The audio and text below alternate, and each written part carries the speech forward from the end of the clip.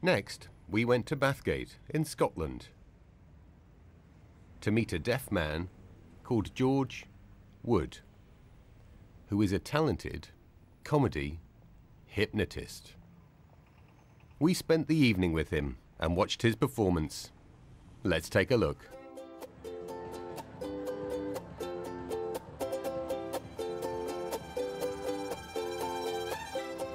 As far as I know, I'm the only guy who has extremely hard of hearing difficulties and is able to actually do hypnosis.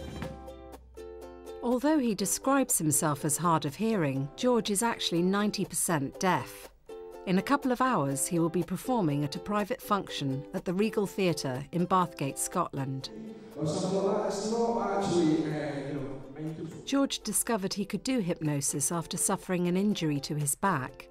He was experimenting with reflexology as a way to reduce the pain and found he was able to send someone into a hypnotic trance.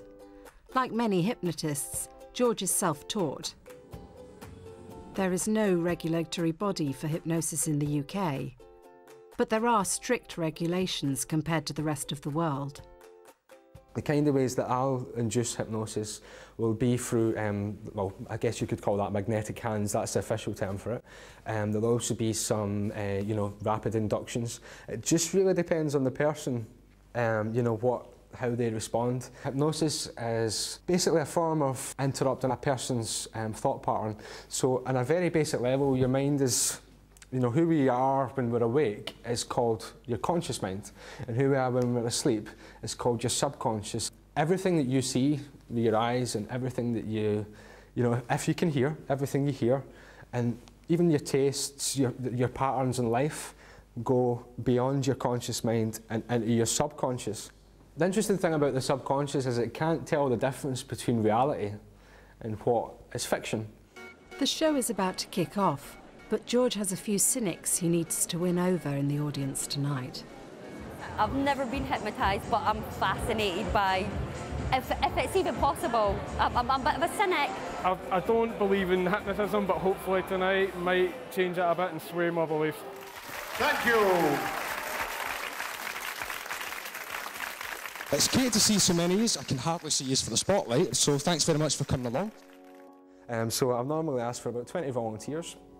Um, I like to think that I'm easy to work with, so uh, the more I get, the, the, the you know, the more uh, the show is going to be uh, more fun because I'll, I'll use some testers to select who I think will be the stars of the show. George is not a stereotypical hypnotist. He's a fan of Paul McKenna and Derren Brown, both modern hypnotists whose techniques and styles embrace the use of comedy in their acts. Anytime I shake your hand like this, you will think I'm the most attractive man alive, okay? I put it here. It's nice to meet you. Nice to meet you. Nice, uh,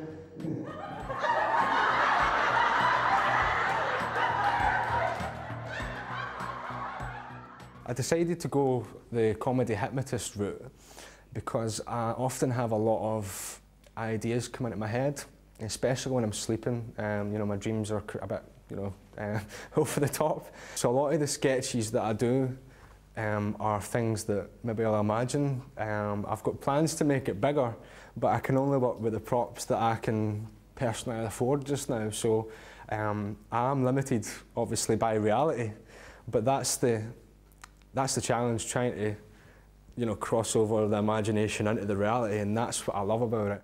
Three, four, five, and wake. and wake up, wake up. Okay, wake up. You got your banjos. Got your banjos. Yep. Yep, that's it. Just get tuning. If you just want to just start tuning that, okay? Because you need to make sure it's all right because we've got a big gig next, all right? Some hypnotists have been criticised for ridiculing people on stage, but this is not what George is about. Well, when you hypnotise people and you give them a suggestion, they will follow what you've asked them to do. However, I leave it open to their interpretation rather than restricting them through the suggestion to the point where they're a robot so you'll see them follow my suggestion, but they'll add in their own flair. You want to get up, get. That's it, yep. That's it. Oh, he's, he's the star of the show. yes. That's it, yeah. Mind, mind and try and get in, you know, get, get them noticing you. Half a million people in England use hypnotherapy every year for health reasons such as obesity, tinnitus, phobias, smoking, allergies, and anxiety. Hypnosis has been in use for thousands of years. There is evidence to suggest that hypnosis was used by the Egyptians and Romans. They used sleep temples in which people laid down whilst chanting, which helped cure illness. We asked George Wood if there was any potential danger. No, it's not dangerous at all. It's very natural and it's also very good for you um, because see all your stresses, um, it can even help, you know, high blood pressure, things like that. It can, it's really healthy. And I know there's some people think it's not, um, but I can't understand that um, if, if anything, it's a lack of knowledge and a, and a lack of experience which makes people, you know, scared. And that's a very natural state as well because fear the unknown. But the only way to conquer your fears is to dive in and find out about it rather than, you know, pushing things to the side. You want to bring them in. That's, that's the way I look at it. That's the way it is, I think. All of you wake up, wake up, that's it. Big pun. That's it. And folk in the audience. That's it, yeah, that's it. Yeah. I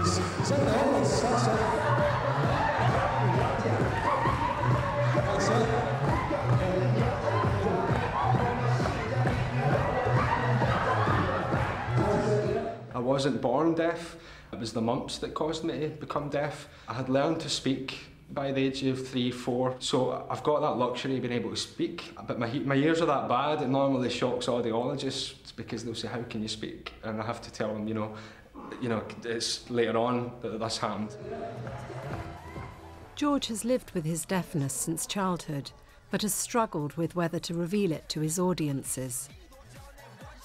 I've, I've hidden my deafness a lot in my life as I've had to go through, even in school, you know, hiding it and trying to fit in with society and even, you know, uh, jobs I've had, I've had to try and hide it. I never put down on application forms, you know, I'm 90% deaf in my ears. Um, or I, they probably would have never hired me. And some places that I've worked have said to me, you know, uh, once I've let them know I'm deaf, uh, you know, it's just not working out and things like that. And I felt really discriminated against in some ways. So when I started this hypnosis, I didn't really want to mention to people um, as I thought it would cause them to reject me and maybe think I'm stupid. But I'm far from stupid and I decided to say to people publicly about my ears and the response was overwhelmingly good. The person's shoulder I am touching just now. Anytime that you drink this water, okay, you want to drink more of it and more of it until there's none left, okay? There's a wee water for you. Enjoy. Is that all right? Oh, I think my deafness has helped in a sense, um, as I have had to use my eyes for absolutely everything, um, from lip reading, um, which I've taught myself. I can't fully hear the audience, so that can help me with the, you know, because I don't feel the pressure of them. But sometimes it can hinder because with the stage lights, I can't see the audience, and when I can't hear them, I feel I'm doing really bad. But that's normally when I'm doing really good. So it's strange when I come off the stage and people say, I really enjoyed your show, and I'm like, did you? And then I watch it back on the video, and it's, uh, it's been a success.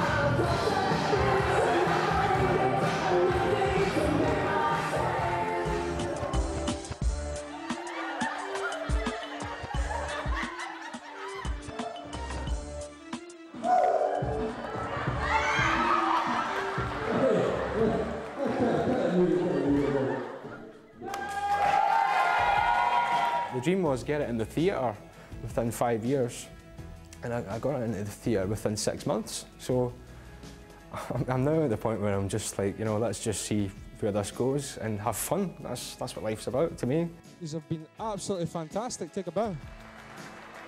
Thanks very much. Remember dancing, dancing and smiling.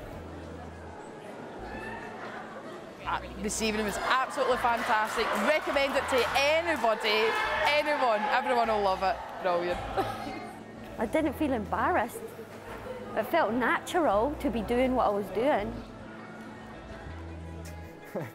Since it's been a success, yes, I'm happy. Yeah, yeah, good stuff. Definitely no longer a cynic.